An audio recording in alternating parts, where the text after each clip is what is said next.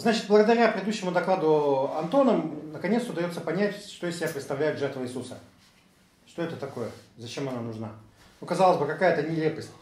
Бог, Отец, Бог, Сын, тем более, что это как бы один и тот же Бог, еще Бог, э, еще другой же, это Святой Дух.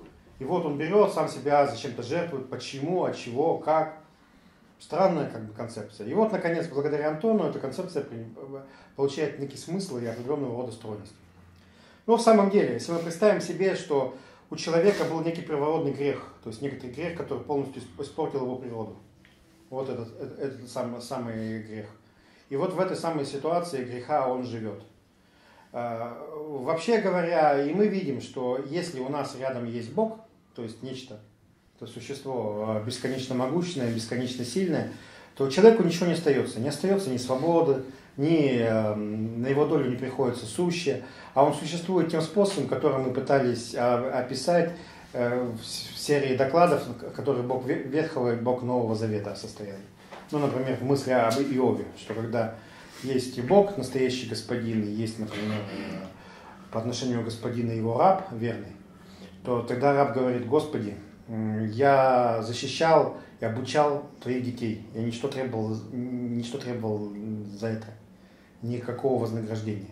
И тогда Бог делает ему вознаграждение. Он выкалывает ему глаза и отрубает его руки. Почему? Потому что такое настоящее отношение между господином и рабом. Оно лишено ситуации торга. То есть ты, раб ухаживает за детьми господина не по той, по той самой причине, что он хочет за это какого-то рода воздаяния или справедливости, потому что это природа его такая. И, и, и господин а, вот этому верному рабу, от, отрубая руки и выкалывая глаза, значит, э, тоже э, просто осуществляет собственное господство. А ни в коем случае не пытается вознаградить или наказать раба за хорошее поведение с его детьми.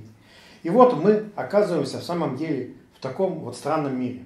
В том странном мире, который является миром Ветхого Завета, в котором господство господина полностью отрицает у человека не то что свободу, но все его остальные атрибуты его существования. Вот полностью его отрицает. Как эту, эту ситуацию можно восстановить, если Бог действительно любит человека? Тем способом, что он убьет сам себя. То есть вот Антон нас учит тому, что Бог преподносит некоторую жертву, и в Новом Завете совершенно, только где-то, по-моему, в Евангелии от Иоанна, я немножко давно уже все читал, ничего не помню, говорится, что Бог воскрес. На самом деле, представим себе ту самую картину, когда Бог умер на кресте, или, как говорят историки, на самом деле, на колу, да, значит, то и его больше, как бы, его нет совсем. И тогда существование, говорит нам Антон, существование э, человека, его сущее, его свобода и все остальное обретет определенного рода смысл.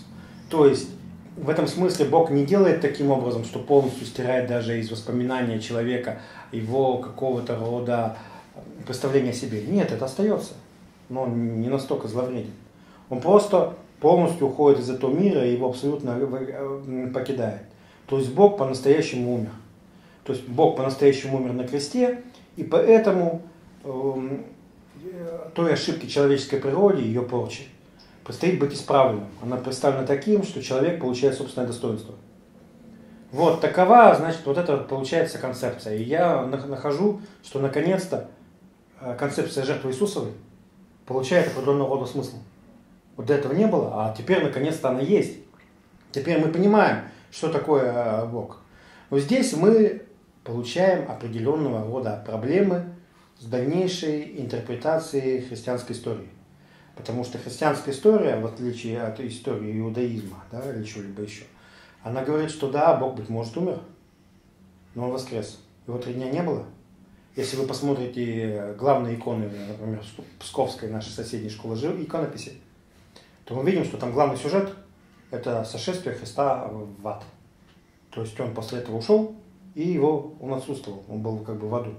Но проблема состоит, что, быть может, э, полагается, что Бог воскрес.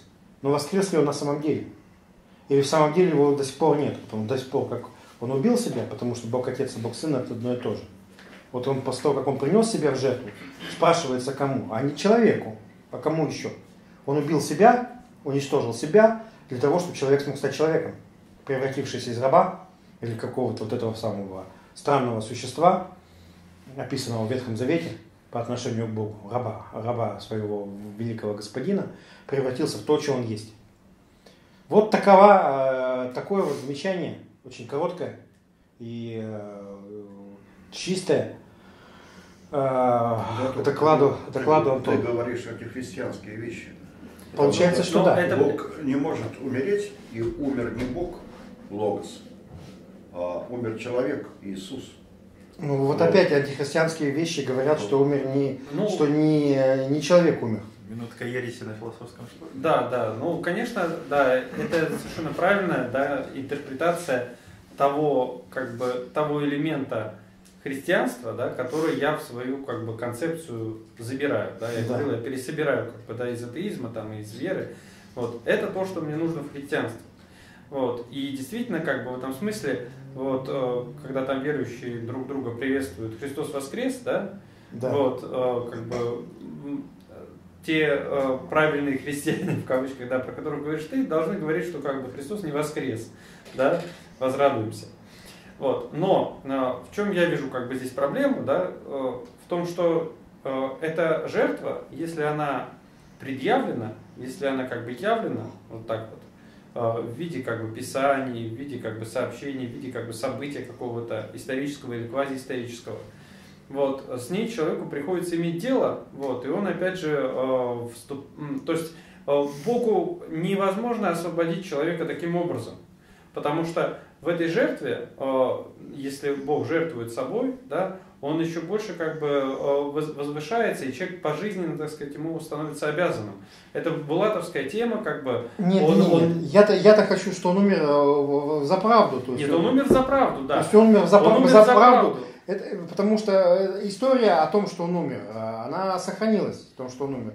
Но эта история как бы ничего не говорит. Бог умер за правду. Том, за, за правду, да. За правду он умер. То есть на онтологическом статусе, пронизыв, пронизывающая все стороны нашего это, бытия. Это все, все правильно, да. Я просто хочу сказать, что а, человеку, а, от, а, если как бы Бог сделал это ради человека, да. да, то это не лучшее, что он мог сделать. Вот, потому что как бы поздно уже, поздняк питаться. Если ты уже был, а потом за правду на всех уровнях бытия умер, да. но ты оставил, как бы человек, ты, во-первых, его бросил, во-вторых, ты наделил его чувством вины, потому что ради тебя, да, вот, ради тебя человека, там, Бог взял и убил себя, вот. Ну, как бы с этим дальше надо как-то жить. Вот. Да. Не то чтобы это похоже как бы на счастливую там историю. Зато да. очень похоже на христианство. Зато очень похоже на христианство, да. Вот, наверное.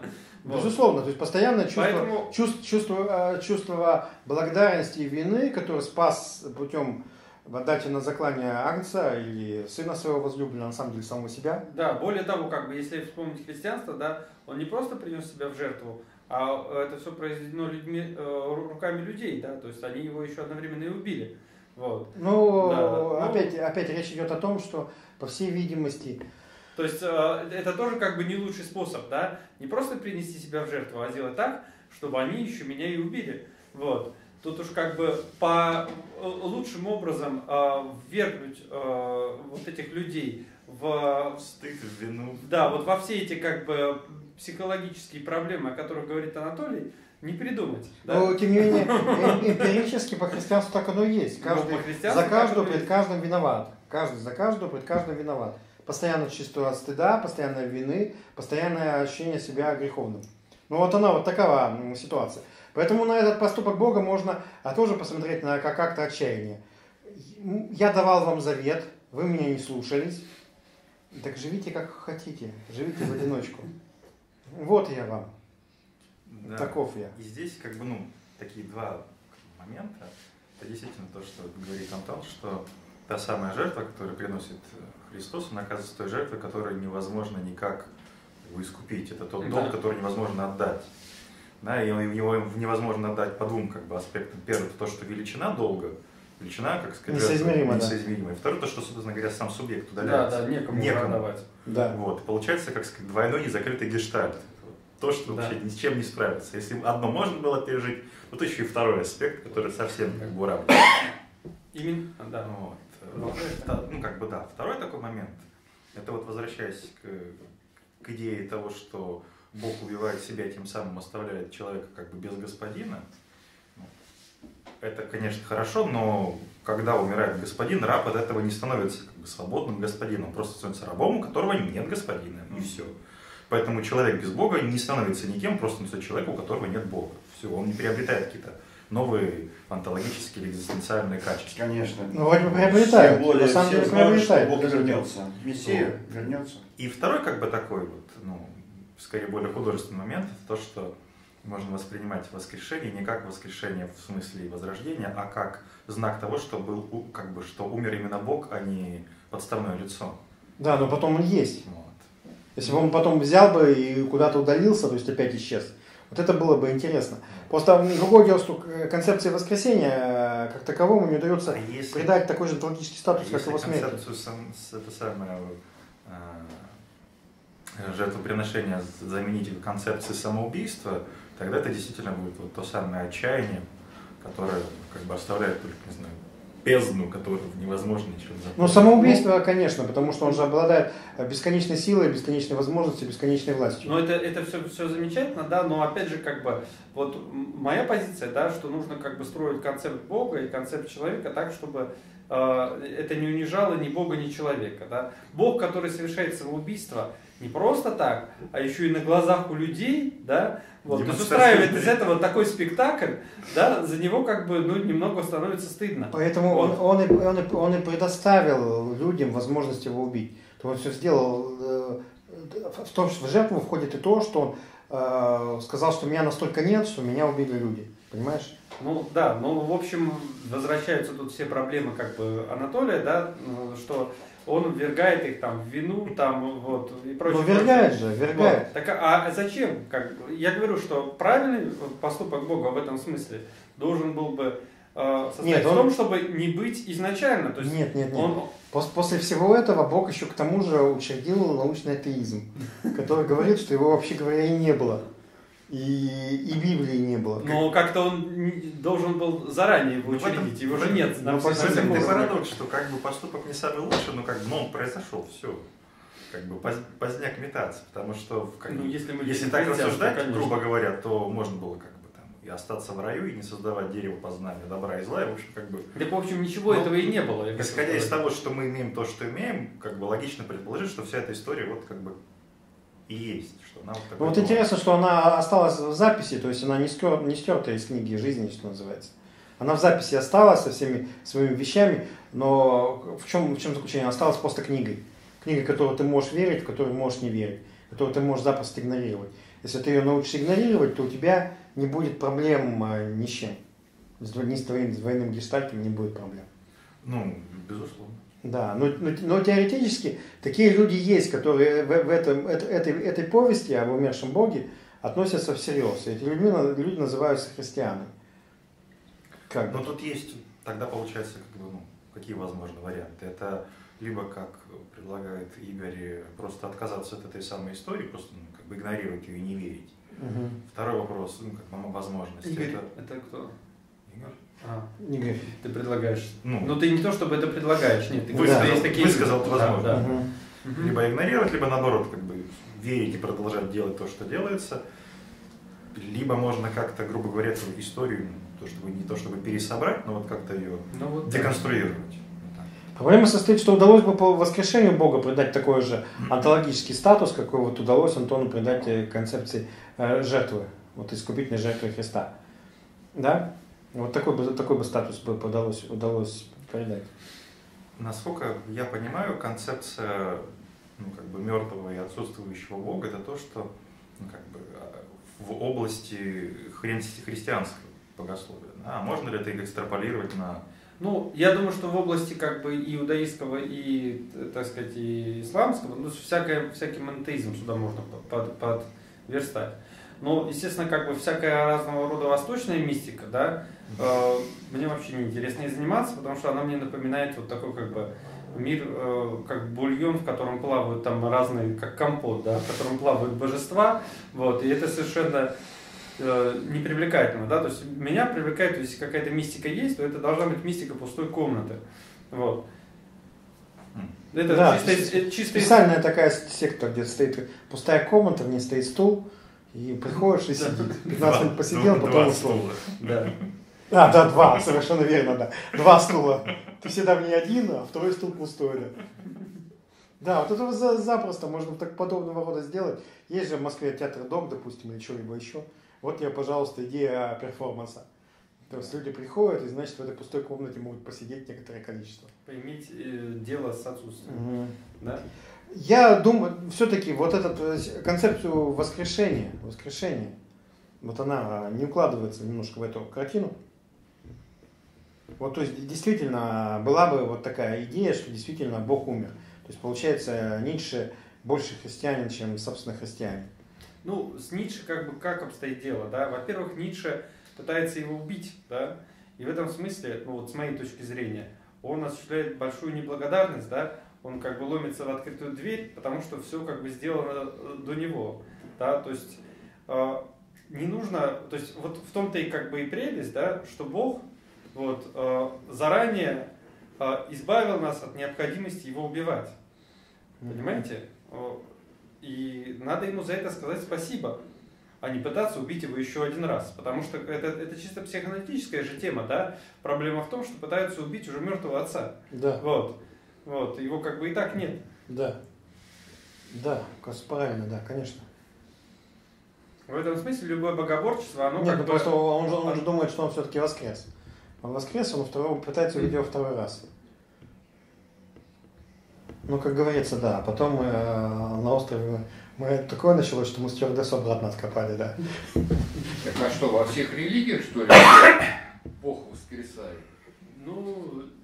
Ну, во всех. Или вы говорите в основном о христианстве? Он, он, в общем, практически нигде не умирает, да.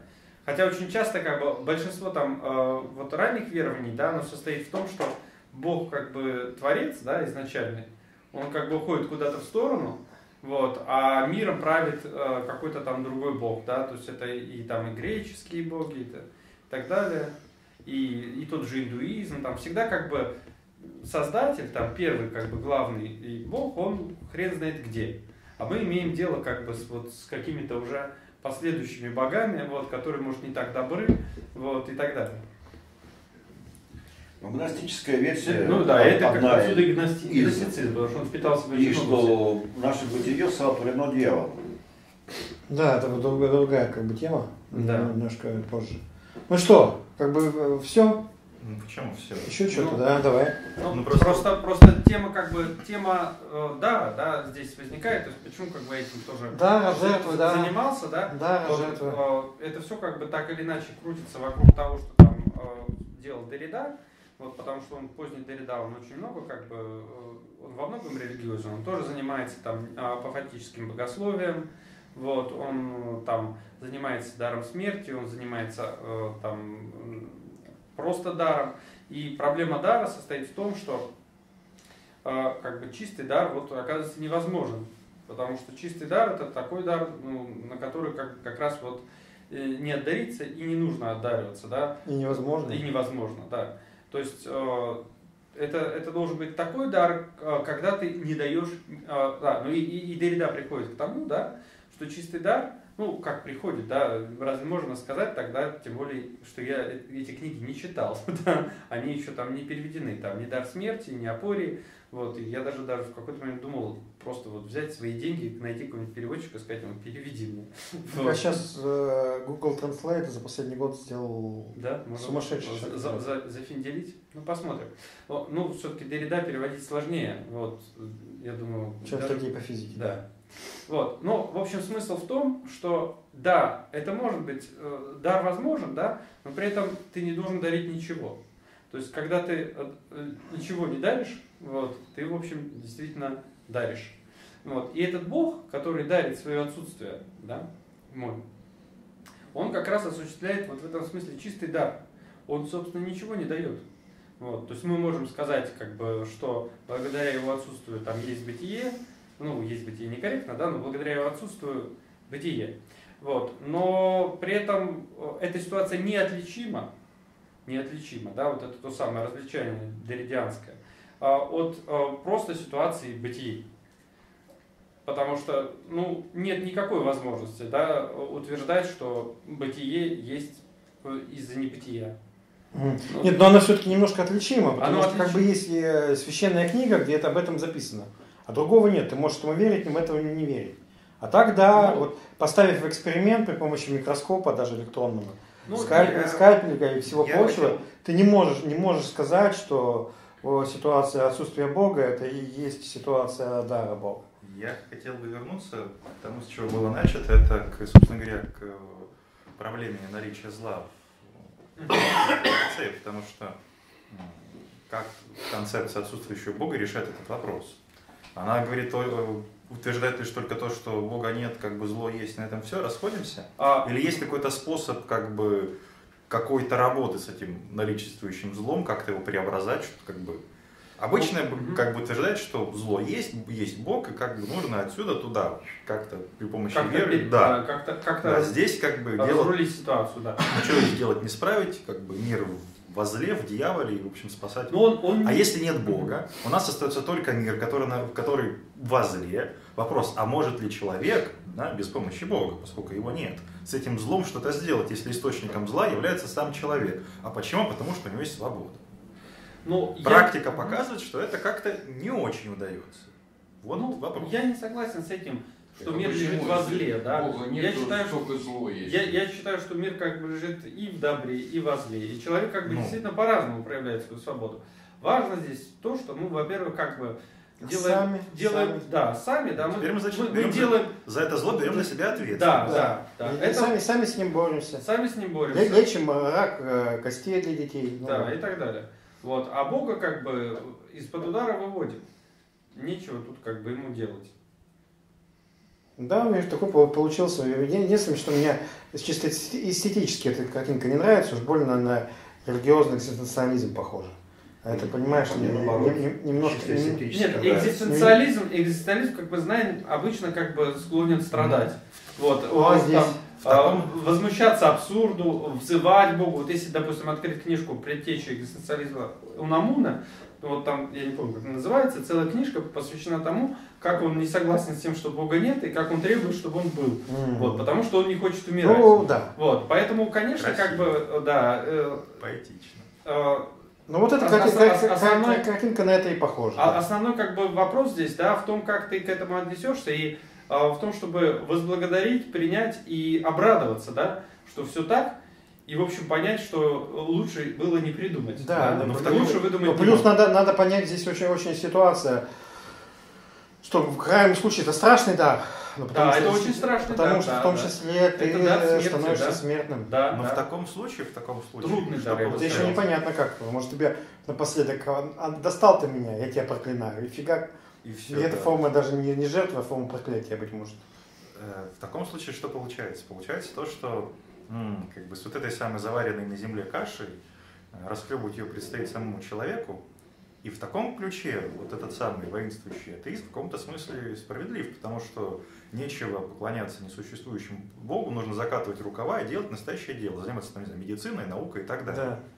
Они, вот. они, они, они, они, тоска, они, не тосковать да, по жертве. они толсковать по жертве, которую... Не, не, не страдать от проклятия. Да, да. только остается и, вопрос и как бы я сообразности. Я говорю как, в тот момент, что и отсюда получается такой как бы переход от вот то, что говорит Антон, от Бога, которого нет, к Богу, которого вот как бы как бы не было, нет, вот вот той, той самой разницы, который, между которой различий нет, только от одного да. к другому. Это, это, да, Когда вот у нас будет только, как бы, только, ну, как бы материя, только человек, только мир и никакой вот этой ну, у нас, и так, мистической... у, нас, у нас и так как бы э, нет, да, мистика, да, но, она нулевая. Ну, она вот, пока еще да. остается в, как да, бы, в, а как, в качестве возможно. категории какой-то. Есть, а потом она исчезнет. И я как... как бы, да, вот моя мысль, да, я настаиваю на том, что так сказать, изящество Бога э, в этом его акте состоит в том, что он оставил нам вот всю эту свободу отношения, да, он не предписал, что мы там должны, допустим, благодарить, или что мы должны вот, э, стенать и просить его появиться, или что мы должны просто как бы, э, ну, принимать этот факт как должное, и как атеизм,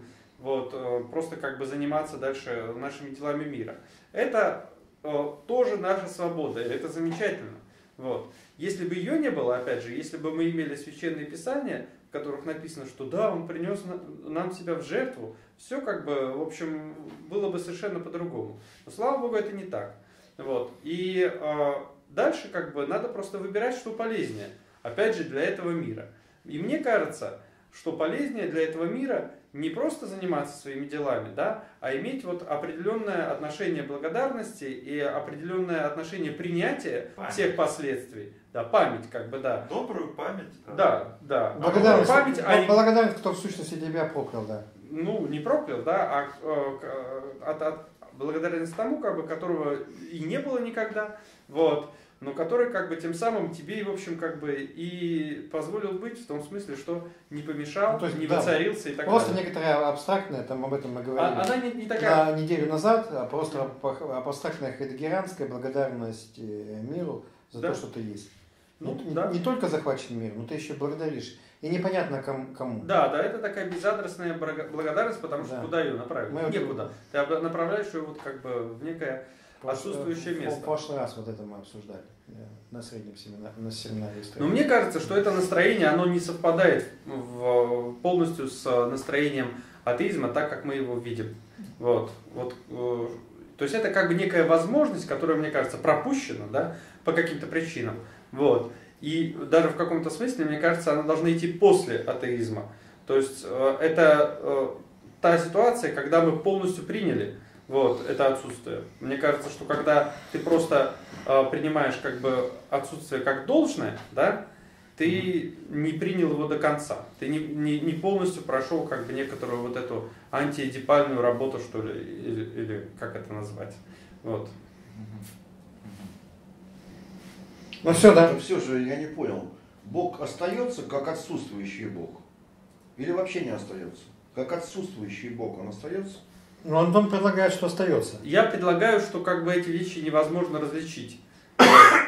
Что как бы с одной стороны вроде как он остается как отсутствующий, с другой стороны он и отсутствие свое забирает с собой.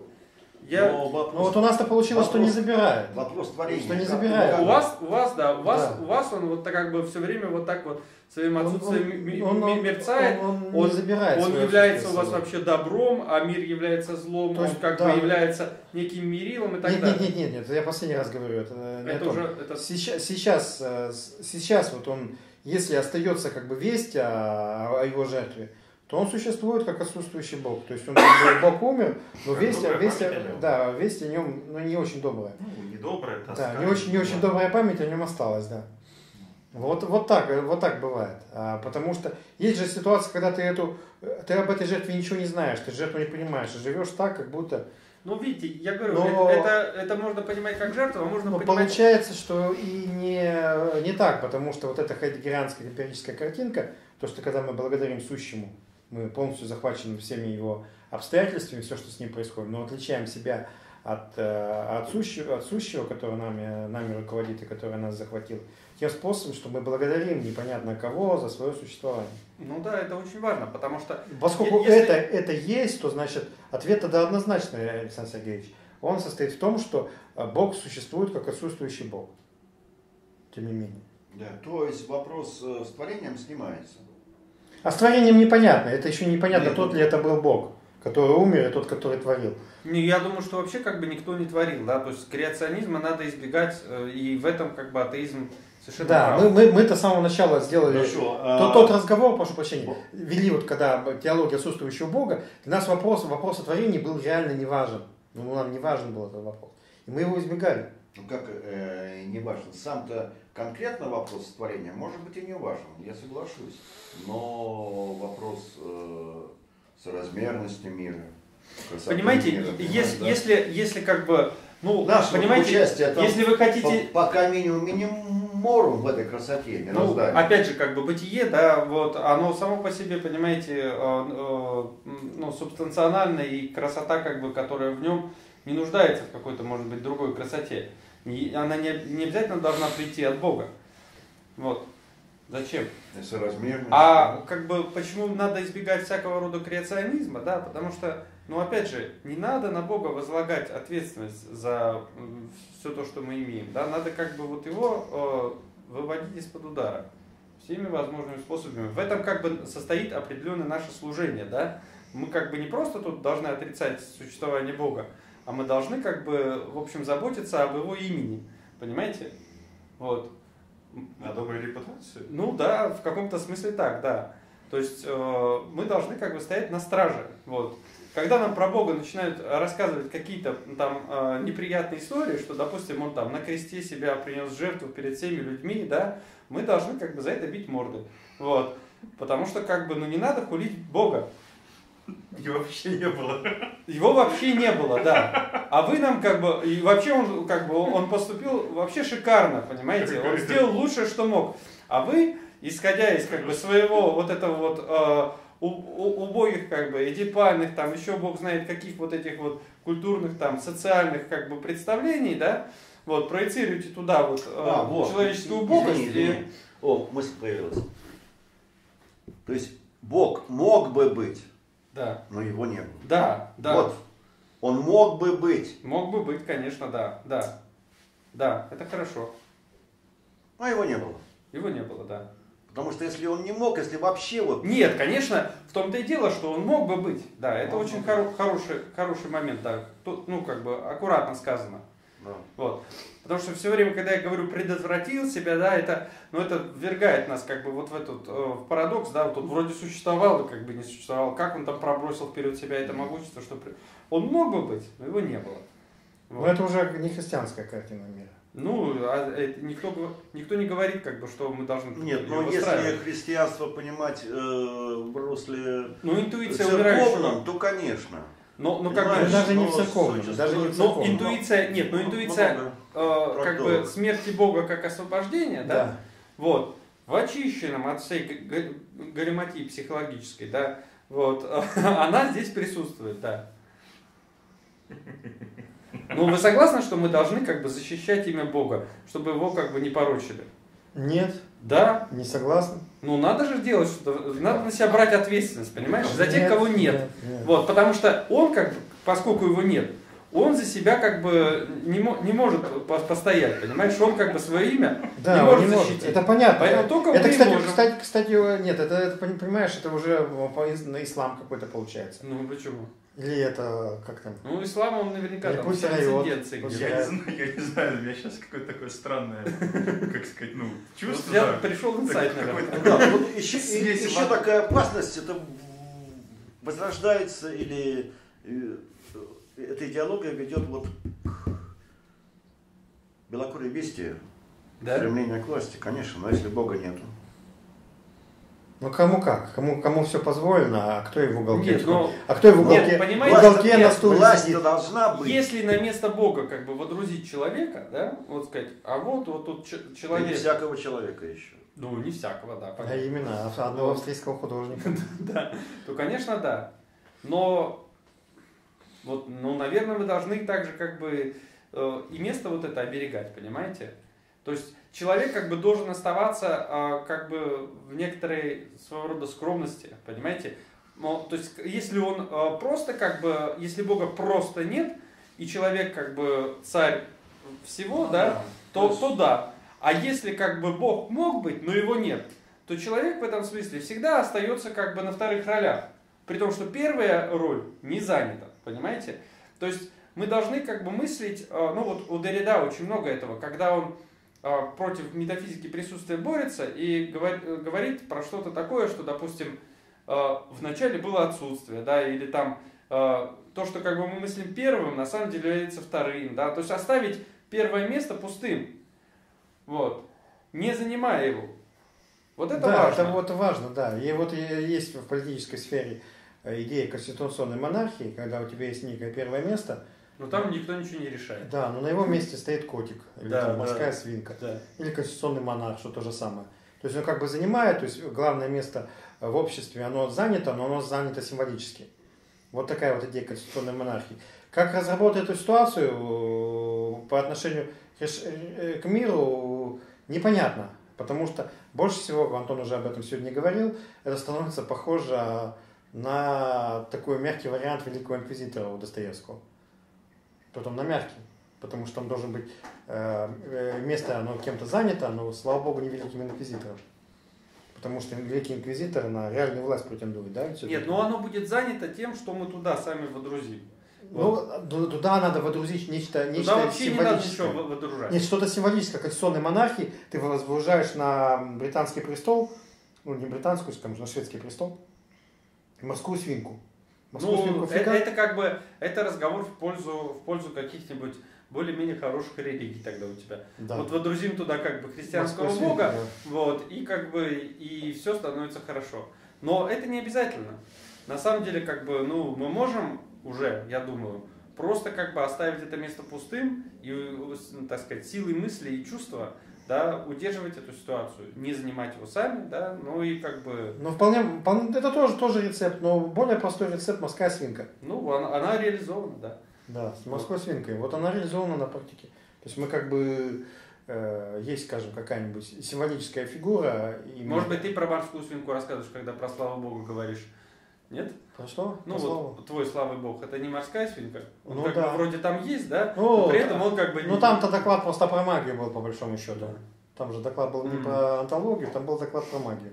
Mm. Ну вот, такова вот, значит, ситуация. Ну что, все? Поговорили?